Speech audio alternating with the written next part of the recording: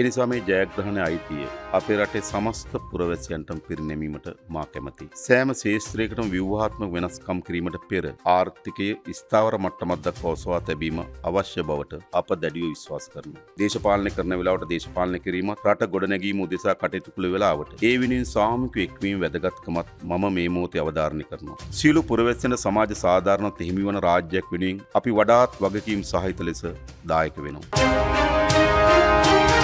ගෞරවනීය ස්වාමින් වහන්ස පූජකතුමනි දෙමව්පියනි සහෝදර සහෝදරියනි දූදරුවනි දසක කීපයක් තිස්සේ අප නැඟූ හඬට සෙමෙන් සෙමෙන් නමුත් තිරසාර ලෙස සවන්දී අප ඉදිරිපත් කළ වැඩපිළිවෙලට හුස්ම පෙවූ මේ රටේ සියලු දෙනාට ප්‍රණාමය පුද කරනු.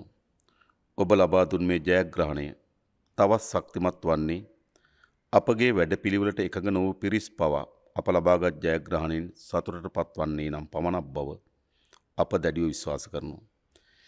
එනිසා මේ ජයග්‍රහණ අයිතිය අපේ රටේ සමස්ත පුරවැසියන්ටම පිරිනැමීමට මා කැමති.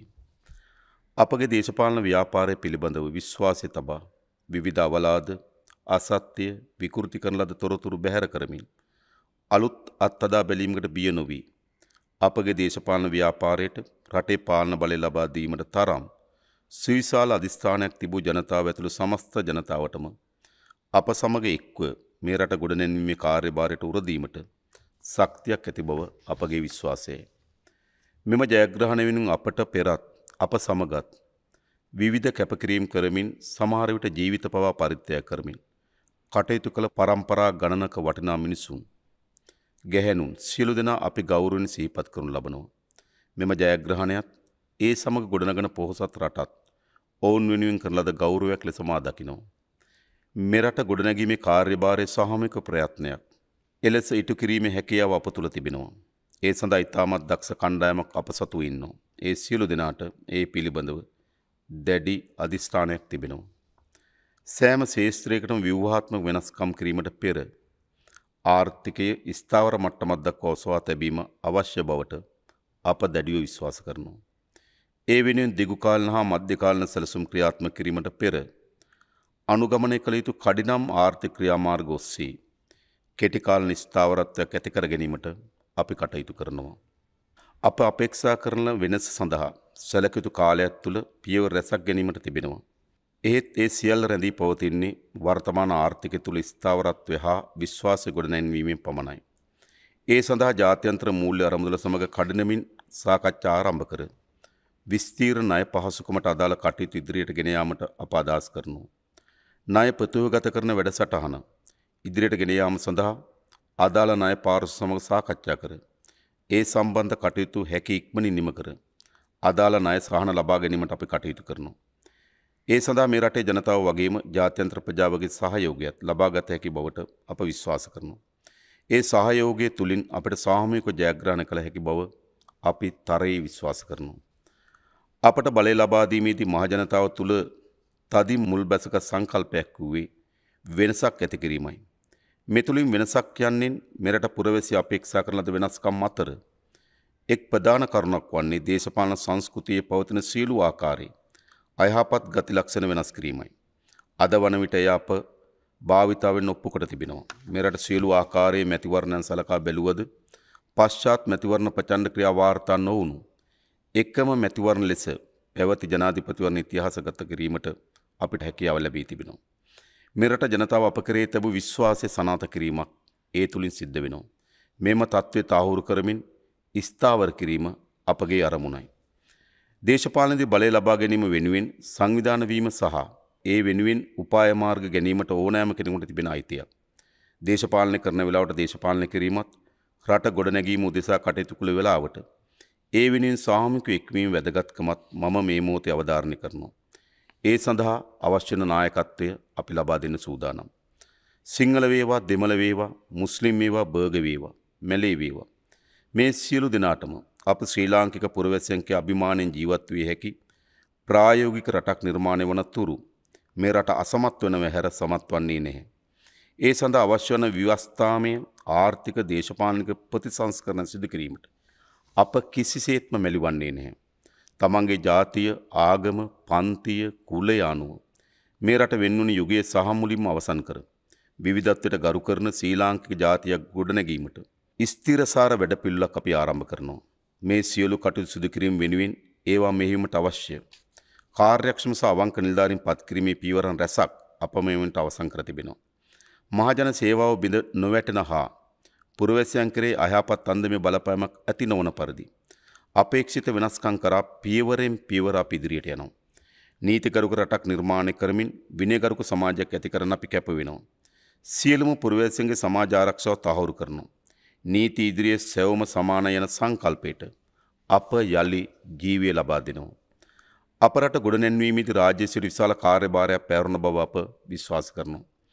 ඒ වෙනුවෙන් මහජනතාවට අභිමානය සැලසෙන රජයේ ඉලක් කරා හඹා යන රාජ්‍ය සේවයක් ඇති කරනවා. කාර්යක්ෂම අවංක ජනතාවාදී රාජ්‍ය සේවයක් ස්ථාපිත කිරීම වෙනුවෙන් අපි අපේ කැපවීම උපරිමයෙන් දක්වන සූදානම්. මේ රටේ මහජනතාවගේ ජීවන තත්ත්වය නැන්වීම අපේ අපේක්ෂාවයි. ඒ වෙනුවෙන් ප්‍රායෝගික වැඩපිළිවෙලක් අප ක්‍රියාවට නන්වනවා. ජනතාව මත පැටවී ඇති අධික ජීවන බර අවම කිරීම සඳහා අප පියවර ගන්නවා. මේ රටේ සෑම මවකටම සහ පියෙකුටම තමන්ගේ දරුවන්ගේ අනාගතය සම්බන්ධයෙන් සංකාවක් ඇතිවෙන්න අපි ඉඩ තියන්නේ නෑ. තමන්ගේ දරුවට හොඳ පාසලක් හොඳ අධ්‍යාපනයක් ලබා දෙන්න. ඒ හැම දෙමව්පිකටම අයිති ඇත්ති වෙනවා. සියලු දරුවන්ට විශිෂ්ට අධ්‍යාපනයක් ලබා දීමට කැපවෙමින්. මතු පරම්පරාව සුරක්ෂිත කරන්න අපි කැප වෙනවා. දැනුම ආකල්ප හා කුසල්තා දියුණු කරමින්. අපේ රටේ තරුණ පරම්පරාවට විශ්වාස කළ හැකි අනාගතයක් අපි නිර්මාණය කරනවා. ඕනෑම රටකට අපි ගිය විට ගුවන්තොටුපළ ස්වභාවයෙන්ම රට ගැන යම් චිත්‍රයක් මවාගන්ට පුළුවන්.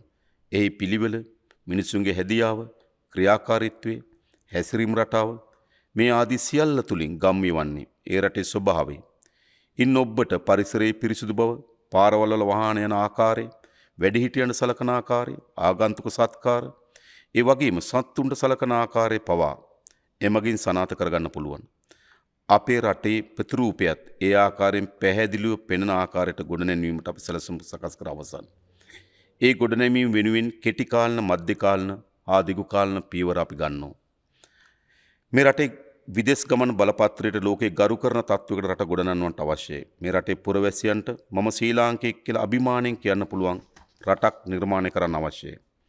මේ රටේ පුරවැසියෙක් වීම අභිමානයක් කියලා. මේ රටේ ජනතාවට හිතෙන තැනට මේ රට පත් කරන්න අවශ්‍යයි. ඊට ඔබේ සාමික දායකත්වය අවශ්‍යයි.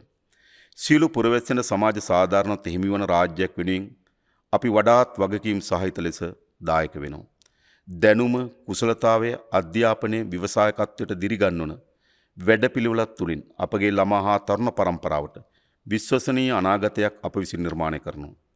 අපේ රටේ ජනගහනයෙන් සියට පනස් දෙකක් ඉක්මුණ කාන්තා ප්‍රජාව මෙරට ආර්ථිකය සහ සමාජ ක්‍රියාවලි සුවිශාල දායකත්වයක් දක්වන පිරිසක්. කාන්තා නියෝජනය සම්බන්ධ සියලු දෙනාට එක්ව ගත හැකි ක්‍රියාමාර්ග වෙතට අපි යොමු වෙනවා. සියලු ආයතනයන්හි කාන්තා නියෝජනය ශක්තිමත් කිරීමට අපි පියවර ගන්නවා. ඒ සඳහා වන අපගේ කැපවීමේ ආදර්ශය සනාත කරමින් දැනටමත් අපේ අග්‍රාමාත්‍ය ධූරයට කාන්තාවත් පත්කොට තිබෙනවා. මෙරට ජනගහනය විශාල පිරිසක් ආබාධ සහිත සුවිශේෂ සමාජ ආරක්ෂණයක් ලැබිය යුතු පිරිසක්. එම පිරිසවනින් ශක්තිමත් සමාජාරක්ෂණ ජාලයක් අපිසින් යෝජනා කර තිබෙන අතර එහි කෙටිකාලන ක්‍රියාමාර්ග කඩිනමින් ආරම්භ කරනවා. අප යන ගමනේදී මේ සමාජ දේහයේ සියලු කණ්ඩායම් මඟ නොහරින බවට අප වග කියනවා. එකිනෙකාගේ අනන්‍යතාවයට ගරු කරමින් ඒව රටේ ප්‍රගතිය උදෙසා සාධනීය ලෙස යොදා ගැනීම වෙනුවෙන් අපි අපේ දායකත්වය ලබා දෙනවා. මහජන පරමාධිපත්‍ය පිළිබඳව අපිත්තා දැඩිව විශ්වාස කරන අතර ඔවුන්ගේ ප්‍රජාතන්ත්‍රවාදී අයිතිවාසිකම් සුරක්ෂිත කිරීමට කැප වෙනවා. අප පිළිබඳ සැකසංකා හේතුවෙන් අවිනිශ්චිත්තාව ඇති අය සිටින බව මා දන්නවා. මාගේ ක්‍රියාවන් තුළින් ඔබගේ විශ්වාසය දිනා ගැනීමට මා බලාපොරොත්තු වෙනවා. ඔබගේ සාධනීය විවේචන පිළිගැනීමට සූදානම්.